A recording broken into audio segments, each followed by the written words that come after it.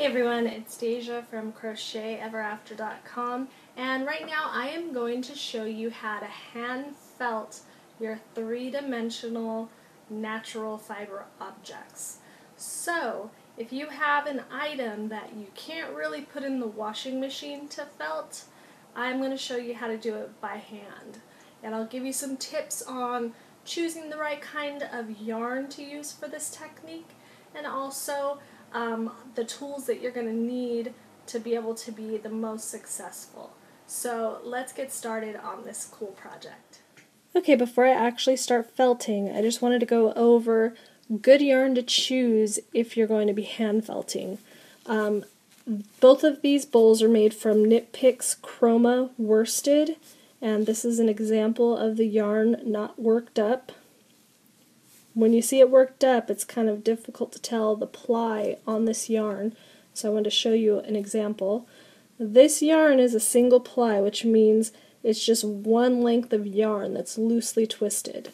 Depending on which part of the ball you're on, it could be a little bit denser twisted or a little less, and that's kind of the beauty of this yarn when it's a single ply, is that you get variations. But another great thing about single ply is it's very easy to hand felt because it's so loose, when you're working with your hands, it easily will um, connect to itself. If it was a two ply where you would take two strands of yarn and twist them together, it's a little bit more difficult to hand felt. So if you're choosing wool yarn, make sure if you're going to hand felt it, try to go for the more loosely plied yarn. It'll be a lot easier to hand felt and a lot less work. So we're going to get the supplies together and show you how to felt these up right now.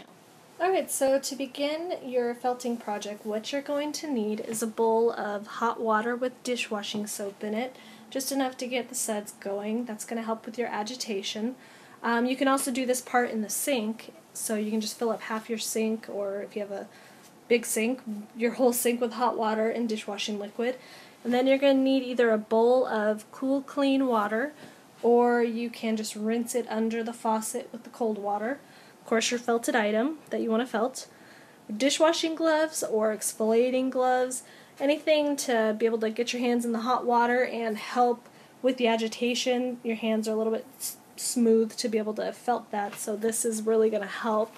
These have little kind of grippies on them, so it helps with the agitation.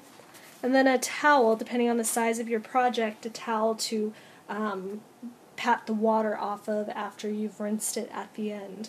Um, you can also, if you are doing a flat piece, you're going to need blocking mats or pins, something to pin it to to shape it out. Since I'm felting a three-dimensional object, um, all I need is something to lay it on and to shape it out with, so I'll show you that when we get there. So let's start felting.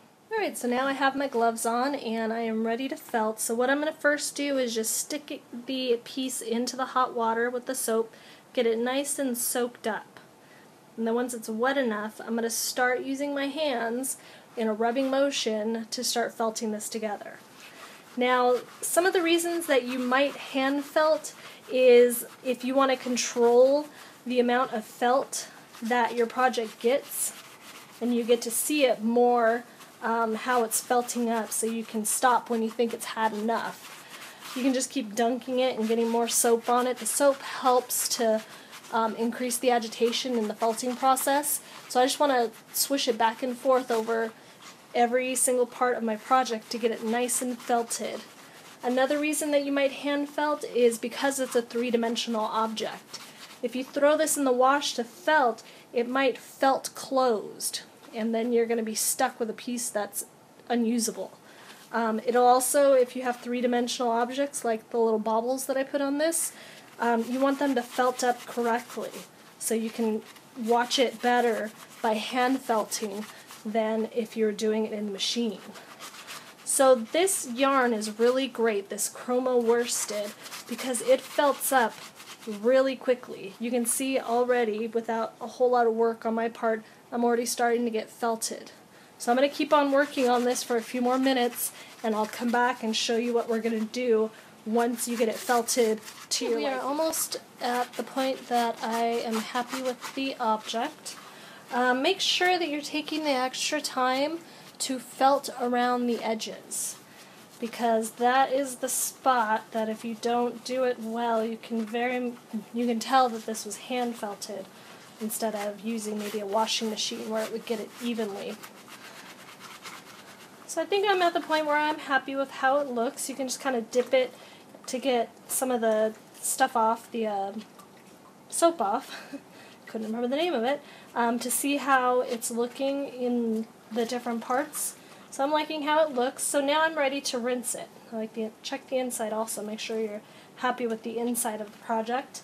So I'm going to stick it in the cold, clear water to get the soap off. And kind of just squeeze around the project. And then I'm going to squeeze out the excess. I don't want to wring it. You never want to wring your project. You want to just squeeze it out to get the extra moisture. And then you're going to use your towel. You can just wrap the towel around it. And squeeze out all that extra moisture. And you'll see that these dry pretty quickly with how much water gets taken into them. They dry quite quick. And if you're wondering why that wet sheep smell didn't come out even after all the soap that you put into it, that's just the natural smell of the sheep. It's not able to be taken out. So now what I want to do because I put these little textural bumps in here, I want to make sure that I kind of poke them out before I set it up to dry so that they are visible once my project is completely dry. And because I put these bumps in, there's still um, slight little holes that you can peek through. I didn't want to felt them completely to the sides because then they wouldn't stick out as much and I'm happy with that. If you're making this project, which is coming up in one of my books, it might already be out by the time you watch this, um, seven self-striping yarn projects to crochet, then that's going to be up to you if you want them completely ground in with the sides. And then to dry this, what I'm going to do is grab a, um, just like a plastic cup or anything that you have lying around the house, where you can invert this piece and kind of shape it on the cup. So make a little mushroom out of it. And I want to make sure that my sides are all even. So you can see that my sides are nice and straight. I don't, oops, sorry.